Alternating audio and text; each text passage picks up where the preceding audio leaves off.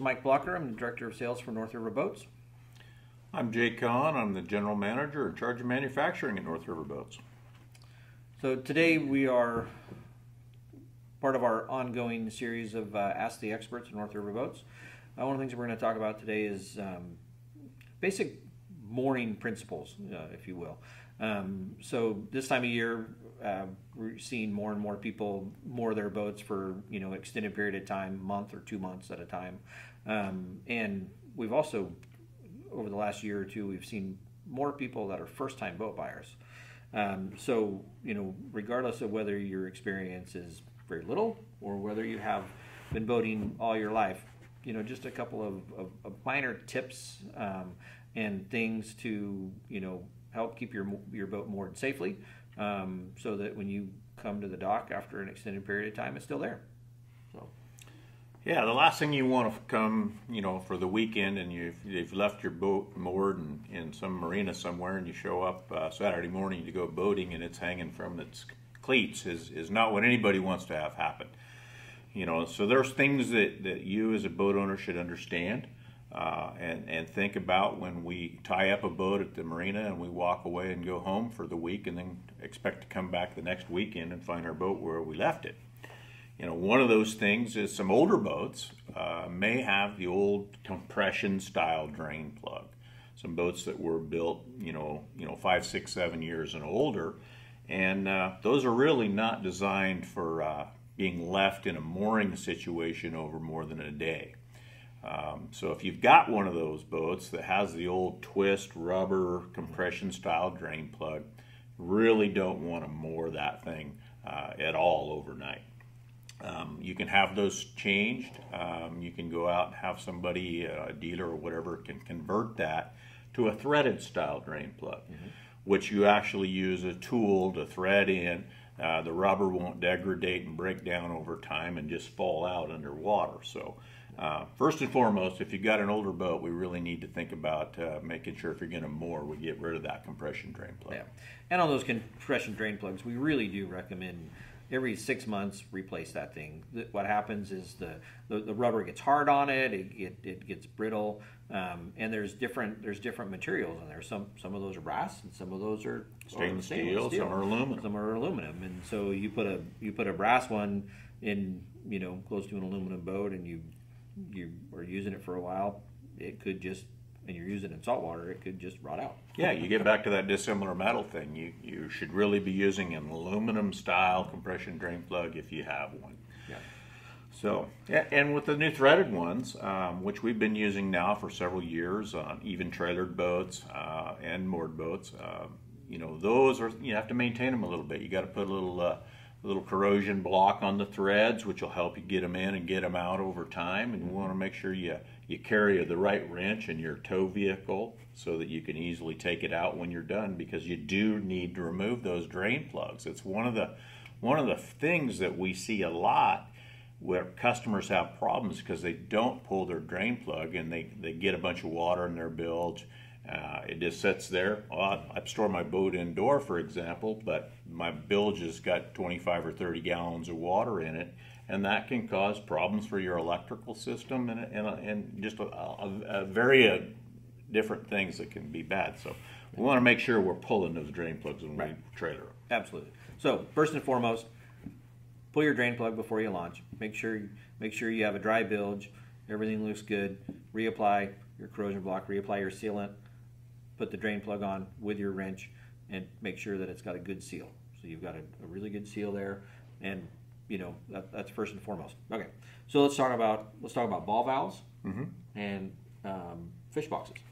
Right. So many many of our boats today are built with uh, hole penetrations that are either drains for fish boxes or they are pickups for uh, wash down pumps or or uh, a head system, all those kind of things. So you've got these, these ball valves that when you walk away from your boat, let's say you put it in and you at the marina and you went and fished and you came back, tied it up, and you're going to leave for the night, you really need to shut those ball valves. Those should be closed. That way, you know, if something fails, if a hose fails, you've got that ball valve protection. The other thing on fish boxes, you know, a lot of people use those. They let the water flood in, flood out Um, it works really well for keeping them clean, keeping the blood washed out, and and the attitude of that boat can you know help you know how it sits at the mooring. If it's if your boat's sitting there with a one degree stern down attitude, all the water's going to run that might get through into your bilge to the back of the boat. And even if you have a self bailing deck, um, you really need to make sure that boat's moored at you know one degree stern down if at all possible because that'll flood all the water that the rain comes down. That'll push it to the back and down to where your bilge pumps are. And you got the automatic pumps that will kick on and, and keep yep. you from having problems that way. Right. And so make sure that those automatic pumps are if you have a three-way switch make sure they're in the auto position if you um, have if you haven't upgraded and they're just uh, on an auto float switch, just make sure that um, that that they are that they are working. I mean, you can absolutely you can you can reach down there, you can you can you can test the float. yeah, sure there's ways to test each kind of them that we've used over the years. They all have a test system. Yeah. Um, if you need any uh, questions about those, get with your dealer uh, call the factory, whatever. We can walk you through how to test your auto system. Yeah, those those bilge pumps are on a, on what's called 24 hour power. So even if you turn your your battery switches off, um, the, your bilge pumps your bilge pumps and your floats are on a 24 hour power. So they even with your with your house switch off and your engine switches off, they should still work. So if you do have if you do get water in your bilge, they should function. As long as you have battery, that's that's maintained, and your battery is, is up to is up to par. So. Yeah, absolutely. Uh, again, in loading your boat, um, talked a little bit earlier about how the attitude of the boat should sit when it's moored. Um, so when you go away, you know, you, a lot of people, if a cabin boat, they might take and push a bus just a weight inside their house or their cabin to store it and lock it up. But when we walk away, we want to know that the water that might be in that boat's running aft. We don't want it running forward, especially on a self-bailing deck, which any boat that you're going to moor for an extended period of time really should be a self-bailing deck. Yeah. It should not allow bilge water to build in that boat. It should run out through freeing ports or through scuppers. Right. So let's talk about scuppers a little bit. So um, we, we have multiple different different types of scuppers um, for our self-bailing bailing decks. We have our, our Raybud um, mm-hmm. ping pong balls is what we call them, and we also have um, what we call mechanical scuppers um, um that are you know basically just a, a freeing port, if you will. Right. So the Raybud style that Mike talked about in the beginning, or the ping pong ball style, work really well. They're a true non-return valve. In other words, when the boat drops below the line of that ping pong ball, the ball comes up and seals a gasket and keeps water from coming back in. The disadvantage of those is over time they can get a little marine buildup on the ping pong ball. Some debris gets in there, some fishing line gets in there, or herring, or herring heads, or whatever. I've, we've seen it all. Trust me. Uh, those those don't work as a non-return valve. So the mechanical style that Mike talks about is a hinged flap with a rubber seal, but it's not a really a true non-return system.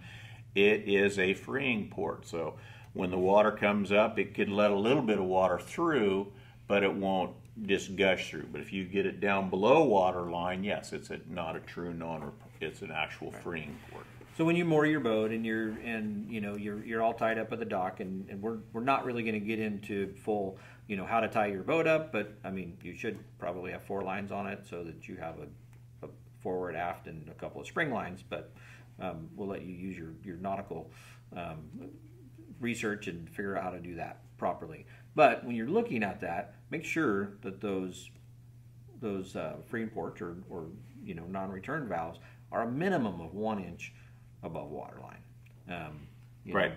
Know. Absolutely. If you got, you can usually see them from the from the dock side. You can kind of look under your swim deck and you can see those freeing ports. You can see the non-return valves and make sure they're above the static water line. You know, most marinas, the docks go up and down, the boat goes up and down with the dock, so that water line should stay consistent.